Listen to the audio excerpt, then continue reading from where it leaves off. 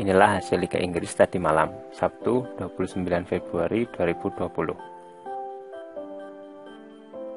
Pertandingan pertama ada Brighton of Albion melawan Crystal Palace berakhir dengan skor 0-1. Bournemouth melawan Chelsea berhasil menahan seri Chelsea dengan skor 2-2. Newcastle United melawan Burnley berakhir dengan hasil seri 0-0. West Ham United melawan Southampton dengan skor akhir 3-1 untuk kemenangan West Ham. Watford melawan Liverpool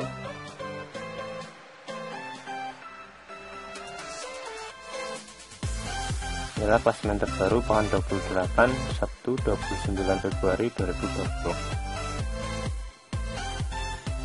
posisi puncak masih ditempati oleh Liverpool yang diikuti oleh Manchester City, Leicester City, Chelsea di posisi keempat.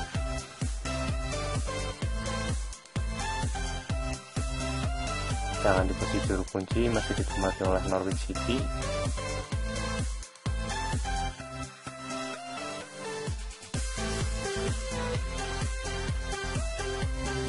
Top skor Liga Inggris masih ditempati secara bersamaan dari Jamie Vardy dan Aubameyang dengan 17 gol lupa yang tidak bola dan juga suka bola jangan lupa untuk subscribe dan dapatkan informasi bola terbaru dari kami